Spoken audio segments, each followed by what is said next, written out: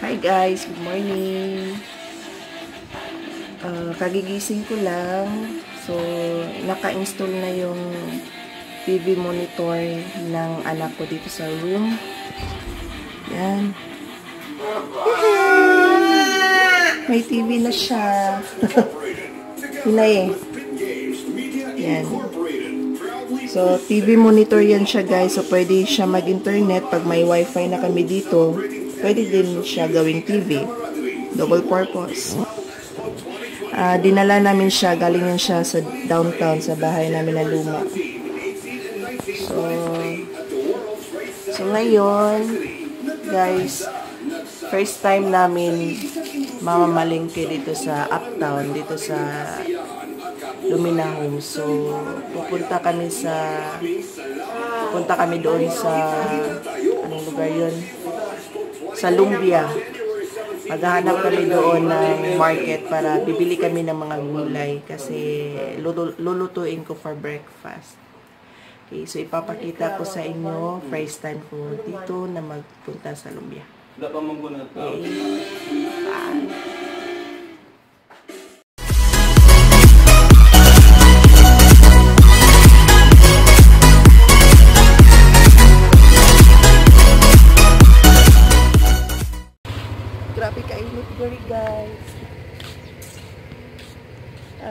Mingaw kayo, mingaw.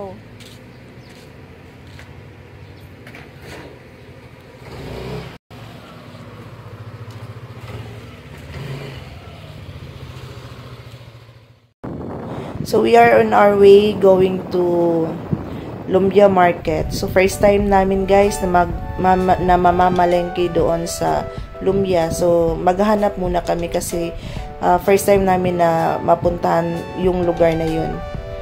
So, yung itong street na to is Matiwasay. Then, sa street namin is ano siya guys, uh, Mariwasa. So, may gym sila dito, basketball court. Malaki siya. Tapos, yung nasa dulo is dam siya, hulugan ng mga dumi. Tapos, ewan ko kung anong name ng housing na to sa harap ng Lumina. Pero yung katabi namin na housing is Alessandra Heights. Ito yung basketball court nila. Medyo may kamahalan lang dito ang bahay ng Lisandra kasi malaki siya. Two-story siya guys.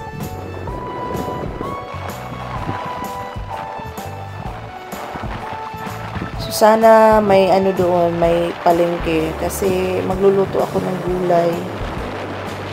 So, ito yung entrance ng Alessandra Heights. Dito nakatira yung Fanny Ferk. May friend kasi sa, siya na seaman. So, may waiting shed kung saan dito sila maghihintay sa L3, ng L3. So, may housing din dito na La Miranda. Nandyan yung kasamahan ko sa Zomba.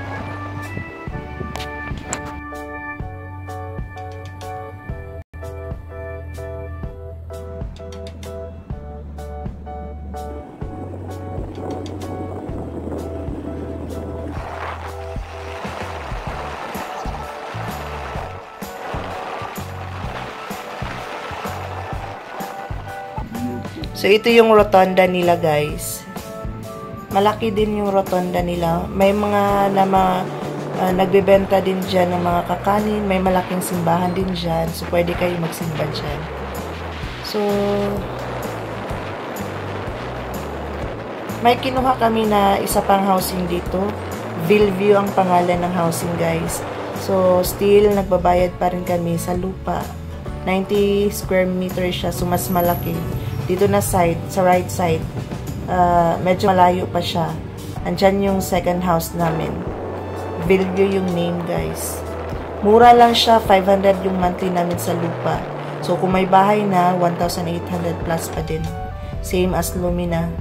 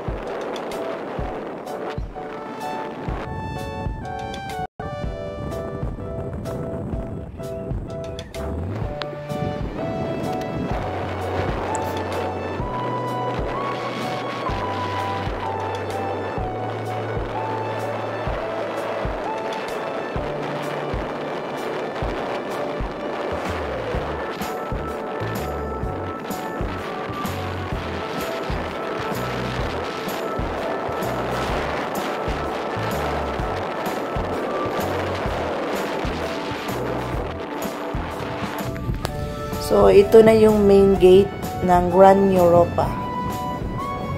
So, dito kayo papasok kung may pupuntahan kayo na makakilala nyo sa Lisandra, sa La Miranda, sa Lumina.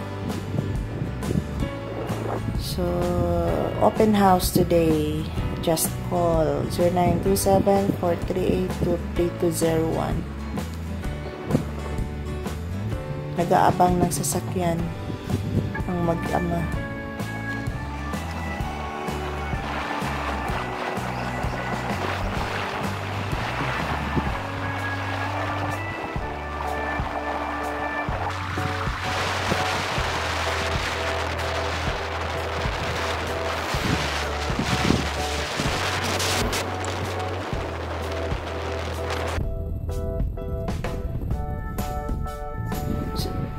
So dito guys, ito yung old runway ng airport. Napakalaki guys. Old runway ng airport. Meron ding St. Peter Chapel dito.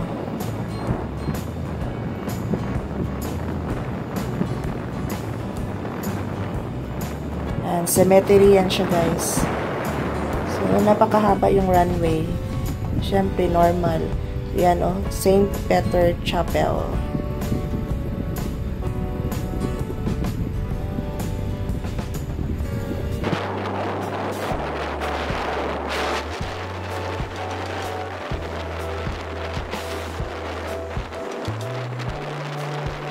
May Bria Homes dito guys. Sa Lumbia. Pwede, uh, ano yan siya. Same lang yan sa Lumina. So, nandito na kami sa Lumbia Market. Uh, hindi siya literal talaga na palengke. Medyo, ano lang siya, bahay-bahay lang na nagtit nagtitinda ng mga gulay. Yan, bahay yan siya. So, hindi talaga siya palengke na lahat nagtitinda.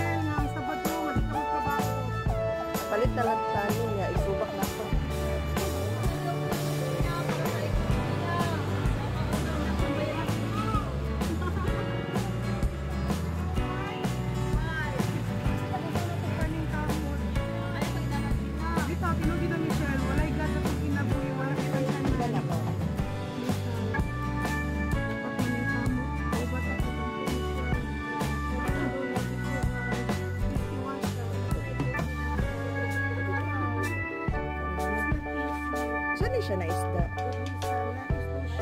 Kanilang pilang kuan. 180 po kung mga mama. Ano kami nandito mama? Pwede, one fourth lang. Hindi siya kasapa. Ay, pag mga sapa ako mama. Hindi po kasapa. Mama, hindi ako nagkalibutan. Dito mo. Kanilang ma'am. Pilang na siya. 140 siya. 45. Ang tamban, pila? 50. 50 ang kilo. Oh. Pwede, pwede siya na isubak. Na siya guys. So ito na yung mga nabili namin. Ah, wala kasi ibang isda guys. So tamba na lang yung binili namin. 50 per kilo. Tapos gulay, repolyo at saka sari-sari. Yan.